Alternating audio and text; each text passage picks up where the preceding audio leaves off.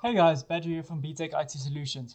Quick one today for those of you running the latest Windows Insider build. Uh, Microsoft is aware of a problem with the xinputs.sys file.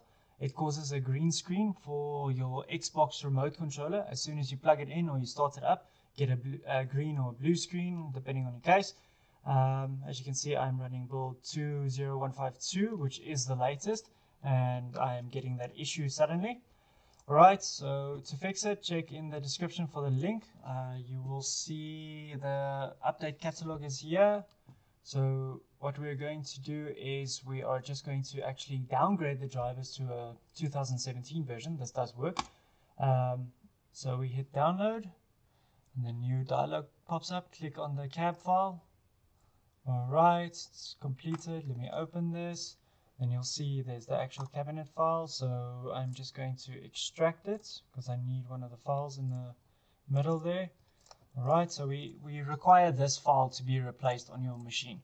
Okay so what you do is you go to your my computer uh, go to this PC C Windows System 32 drivers and you'll see there's your X input as you can see, I've already got a couple of old files here that I was just testing with. All right, so this is the, the file that's giving us the issue. So what we do here is we rename it to say, for example, input old. Okay, so continue. Now, if you do get a trusted installer uh, error, basically a permission error there, what you do is you right click on the file, say properties, we go to security, go to advanced, change the owner from trusted installer to your username. So as you saw now, I clicked on change, go to advanced, click on find now, choose my username, say okay, apply, yep, okay.